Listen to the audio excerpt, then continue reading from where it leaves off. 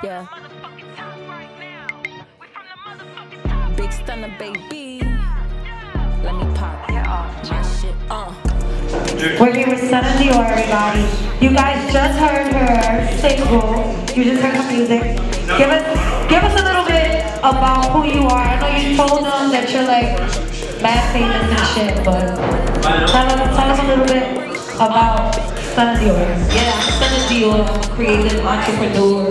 Um, I started off in the modeling game, acting, doing extra work from Love and Hip Hop, 16 and better, math, moment, into the fashion, New York Fashion Week, uh, model for Black Pyramid, Adidas, Kicks USA, onto fashion designing, styling. And you know, and I'm in the music game now. I'm in the music. So, you know, from, from music videos and modeling, now it's definitely time that, you know, I'm stepping to the forefront. Pay attention to the interview at hand. We have a beautiful goddess in the building. And she's an entrepreneur. She's doing her thing out here. What is the latest video that she was in? I saw it on your um, timeline. It's a really famous song. Talk about that. Um, I was just in the Peru video with Fireboy and Ed Sheeran. Um, I think we just hit what, 30, 40 million views.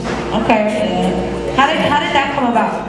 Um, you know, just building. I've done so many music videos from being Megan Thee Stallion, Stuff Devil, um, my TCH video to uh, French Montana, Fuck With Me, Get a Bag, With the Woo, Pop Smoke. Just a lot of videos I'm know from doing. I've been in the game for a little bit, so, you know, they reached out to me and they were like, yo, there's this song, this Ed Sheeran video for love. We need you in the video.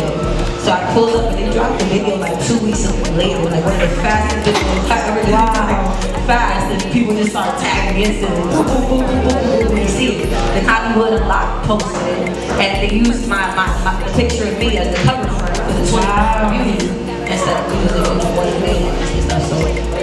amazing. I mean, you're definitely, you know, a, a, a beauty, a sight to see. So, what what does it take to be Stunna Dior? Because your Instagram is spot on. Like, I can't, I, I haven't seen, you know, somebody that is out here still humble, still grinding, doing a thing with that type of Instagram presence. So, talk about that. I would say like Instagram don't don't have shit compared to what's going on in real life and the network and the work that I put in. That's like a fraction of it. It really is just from being out here connecting and building relationships. You know, I'm one of those people. I moved to New York, 18 years old, let my family follow my dreams. So I've been down here grinding consecutively. I don't take breaks. If I'm gonna be chilling, why not make an opportunity? You know what I'm saying? If I'm not chilling at home on the phone with my team, I have a team of people that work around me too. So it makes it easy for me to be out doing shit like this because you know the whole team is getting everything else done behind that. It's making cool. So, what is, what does it? takes networking, What does it take? Yes,